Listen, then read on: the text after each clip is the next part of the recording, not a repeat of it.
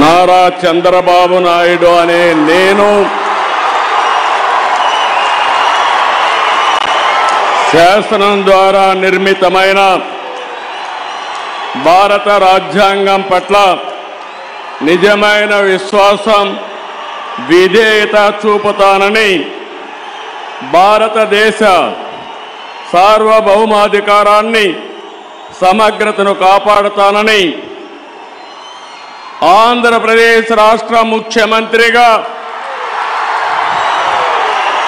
నా కర్తవ్యాలను శ్రద్ధతో అంతఃకరణ శుద్ధితో నిర్వహిస్తానని భయం కానీ పక్షపాతం కానీ రాగద్వేషాలు కానీ లేకుండా రాజ్యాంగాన్ని శాసనాలను అనుసరించి ప్రజలందరకు న్యాయం చేకూరుస్తానని దైవ సాక్షిగా ప్రమాణం చేస్తున్నాను.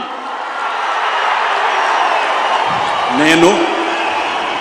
నారా చంద్రబాబు నాయుడు అనే నేను ఆంధ్రప్రదేశ్ రాష్ట్ర ముఖ్యమంత్రిగా నా పరిశీలనకు వచ్చిన లేదా నాకు తెలియవచ్చిన ఏ విషయాన్ని నా కర్తవ్యాలను సక్రమంగా నిర్వహించేందుకు అవసరమైన మేరకు తప్ప ప్రత్యక్షంగా కానీ పరోక్షంగా కానీ ఏ వ్యక్తికి లేదా వ్యక్తులకు తెలియపరచునని లేదా వెల్లడించని దైవ సాక్షిగా ప్రమాణం చేస్తున్నాను.